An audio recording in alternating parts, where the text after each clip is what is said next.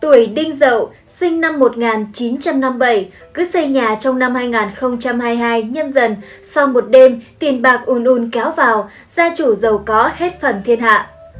Hoan hỷ chào đón quý vị đang quay trở lại với chương trình Phong thủy Gia Cát. Quý vị thân mến, đối với người phương Đông nói chung và với người Việt Nam nói riêng, xây nhà chính là xây tổ ấm, về mặt vật chất cũng như tinh thần.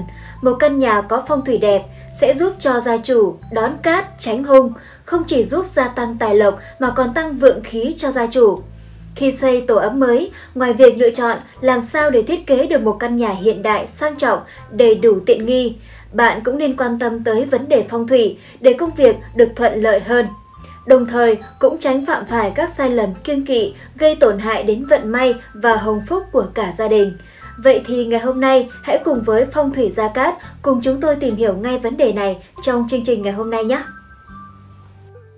Quý vị thân mến, để xây được nhà thì yếu tố đầu tiên chúng ta phải xét đến yếu tố kim lâu, hoang ốc và tam tai. Mệnh chủ tuổi đinh dậu sinh năm 1957, bước sang năm 2022 nhâm dần, đã 66 tuổi. Trong năm này, mệnh chủ bị phạm phải kim lâu và hoang ốc, hai trong ba điều kiêng kỵ khi xây nhà. Vậy nên nếu mệnh chủ tuổi đinh dậu muốn xây nhà, thì cần phải mượn tuổi khác để công việc được tiến hành hanh thông và thuận lợi nhất.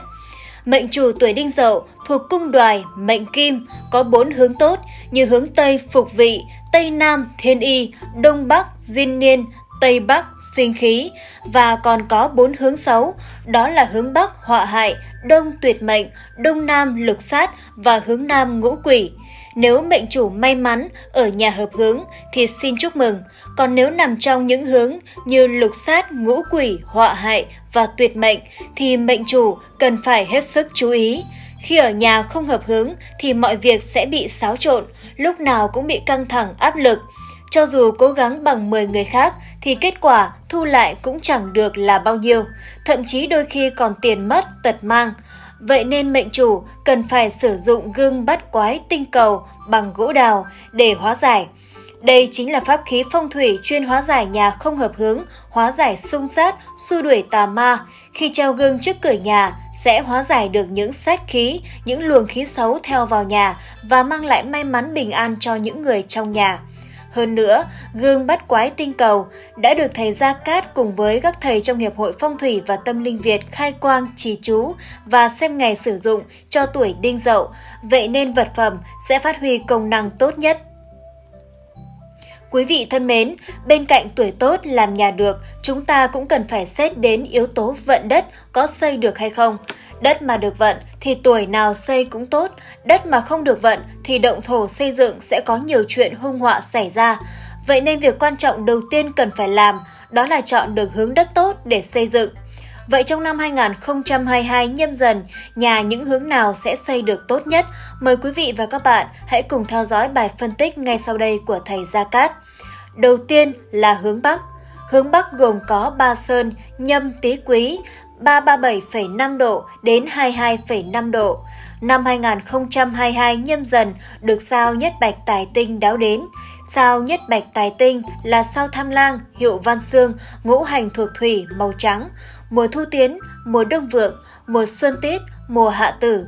Kẻ sĩ gặp nó át được lộc của nó, người thường gặp nó nhất định tiền bạc sẽ vào nhà. Đây là đệ nhất cát thần.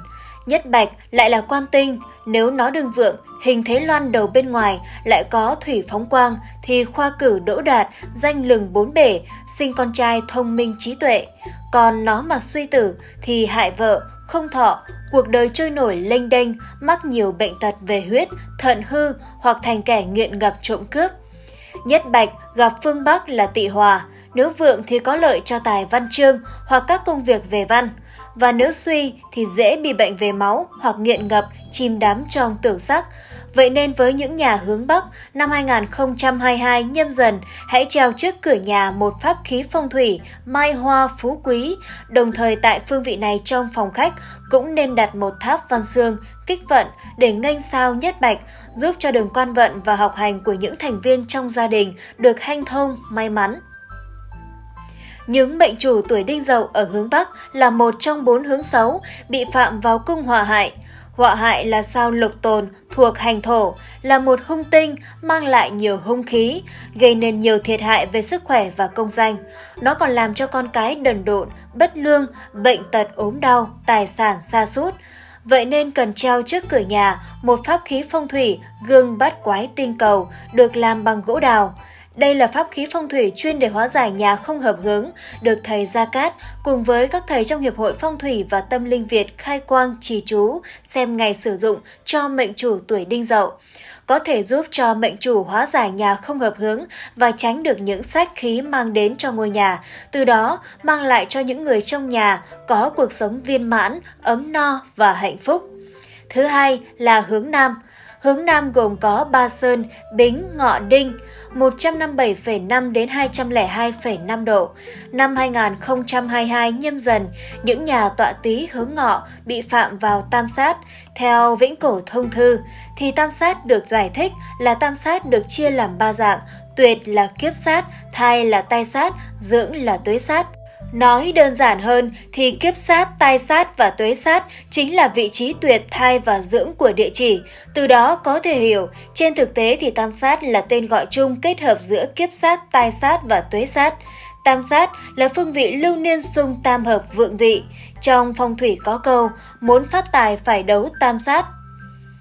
Tam sát là một trong những thần sát trọng yếu trong phong thủy nhà ở. Nếu lưu niên phạm tam sát thì tất sẽ ảnh hưởng tới tài vận trong năm, người nhà ốm đau bệnh tật, tai nạn bất ngờ. Vậy nên những nhà hướng Nam trong năm nay xây mới cần phải hết sức lưu ý. Quý vị hãy liên hệ, đặt lịch trực tiếp với thầy Gia Cát để được tư vấn hoàn toàn miễn phí tại văn phòng.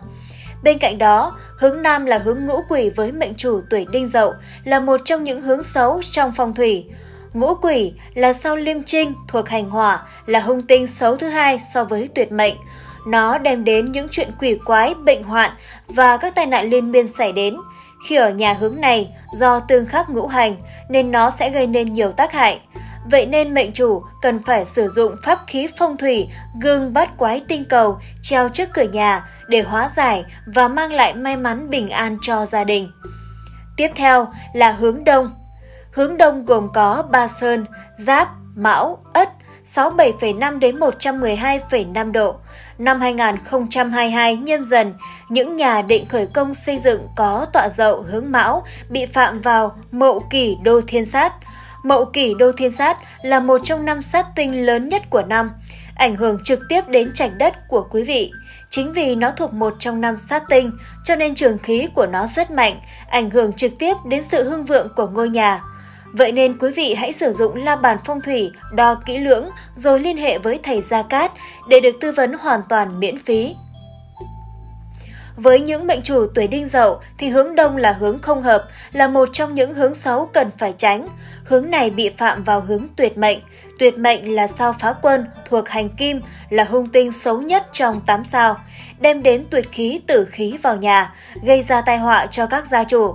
Hướng này mà gặp tuyệt mệnh thì càng nguy hiểm hơn, vì lại gặp tăng khắc về ngũ hành nên sự nguy hiểm của nó càng gia tăng. Vậy nên các gia chủ tuổi đinh dậu cần phải treo một gương bát quái tinh cầu bằng gỗ đào trước cửa nhà để hóa giải. Thứ tư là hướng Tây. Hướng Tây gồm có Ba Sơn, Canh, Dậu, Tân, 247,5 đến 292,5 độ. Năm 2022 nhâm dần bị sao thất xích phá quân ngự trị. Thất xích là sao phá quân, còn gọi là tạc tinh, một trong những hung tinh của huyền không phi tinh. Quý vị nên cẩn trọng khi lập tinh bàn chọn đất xem nhà. Sao thất xích nếu vượng thì phát về võ quyền, đinh tài đều vượng. Nếu suy thì trong nhà xuất hiện trộm cướp hoặc có người chết trận bị giam cầm, gia đạo không yên, có thể vì hỏa tai mà tổn đinh hoặc xuất hiện người ham mê tử sắc.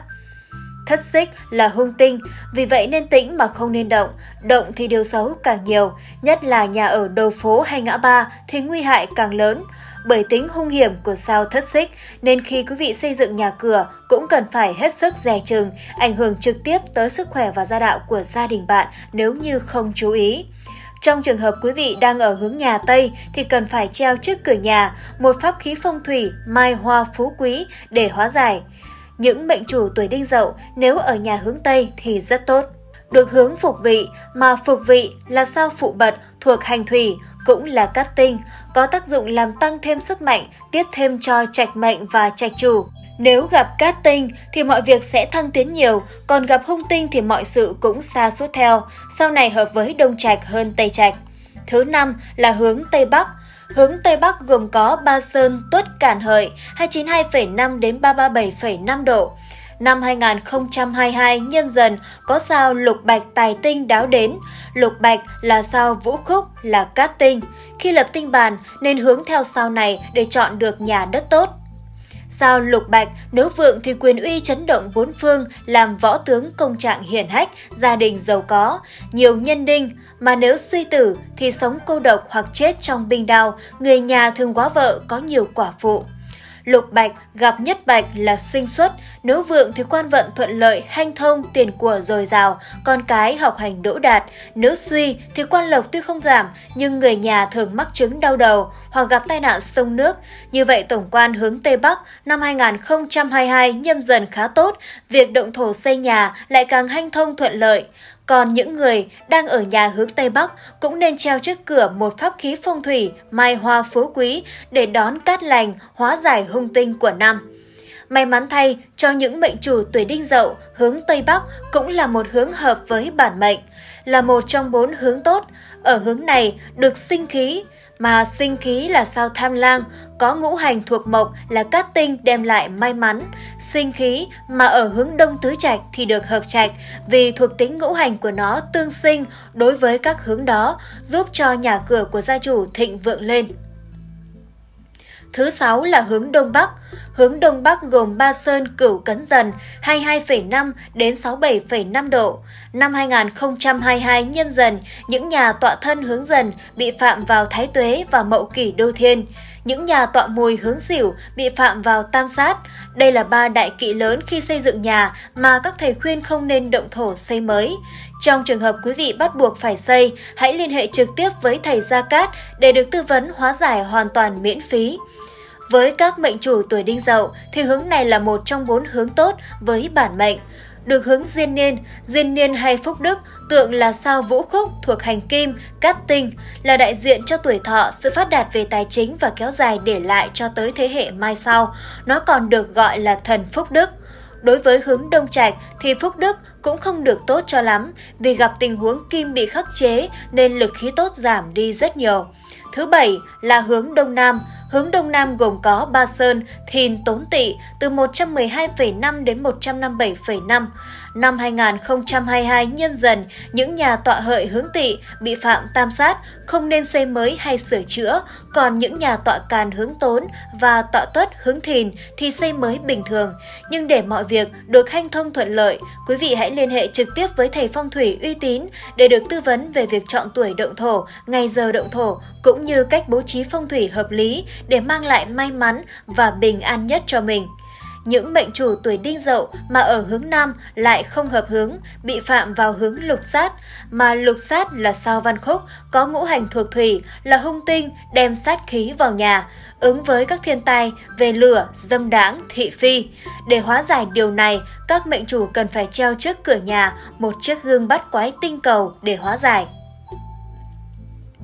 Cuối cùng là hướng Tây Nam. Hướng Tây Nam gồm có Ba Sơn, Mùi, Khôn Thân từ 202,5 đến 247,5 độ. Năm 2022 nhâm dần, những nhà tọa dần hướng thân bị phạm vào tuế phá, nhà tọa sửu hướng mùi bị phạm vào tam sát. Đây là hai sát tinh lớn nhất, hóa giải rất khó. Vậy nên việc xây mới hoàn toàn thì không nên. Còn những nhà tọa cấn hướng khôn có thể động thổ xây mới trong năm 2022 này. Tuy nhiên, đây là hướng tốt với mệnh chủ tuổi đinh dậu. Những mệnh chủ tuổi đinh dậu mà ở hướng này thì lại được hướng thiên y. Thiên y là sao cự môn thuộc hành thổ là cát tinh, không những là biểu hiện tốt về mọi mặt sức khỏe phòng bệnh mà còn làm cho gia đình hưng vượng về tài sản, nhà đất, vật nuôi.